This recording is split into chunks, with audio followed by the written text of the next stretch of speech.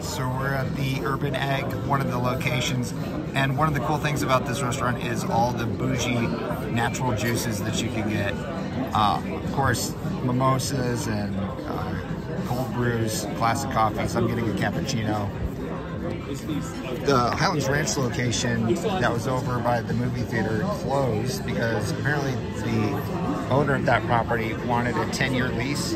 Um, they weren't willing to do that, so um, they closed that location. Now it's a sports bar. But this location is really nice. It's over off from I-25, and uh, it's busy here this morning. What is this? The tri- the three tacos? What'd you get?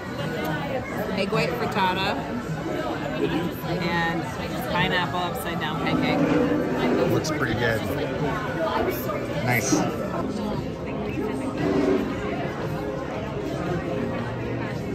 So Urban Egg.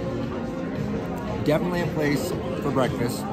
If you're looking for a non-chain restaurant here in the south suburbs, Urban Egg should be on your list. It's not the best place, but it's one of the best places.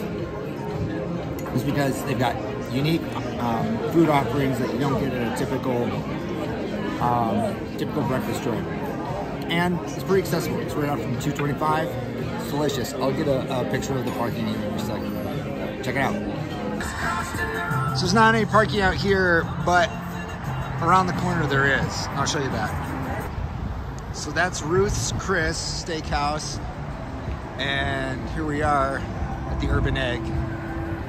This is the one here, in the DTC. So you got street parking right over here. There's a parking garage right up ahead.